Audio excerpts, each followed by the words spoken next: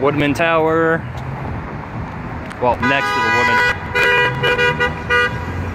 Woodmen Tower, and next to that is a building with the light that keeps changing. A baseball player, baseball batter, the baseball, and the number one.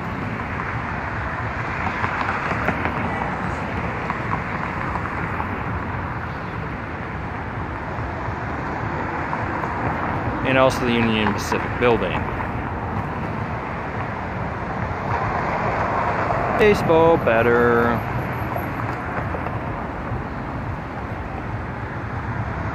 Baseball.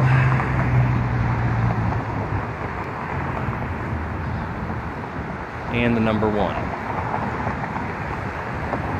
And this is Omaha traffic on the day June 20th, 2019, the night the Louisville Cardinals came back to defeat the shock, the king of the comebacks, the Mississippi Bulldogs, in the ninth inning.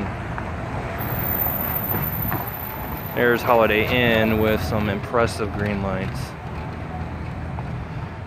That is in the same area as this restaurant Burger Theory. A lot of freaking traffic in downtown Omaha.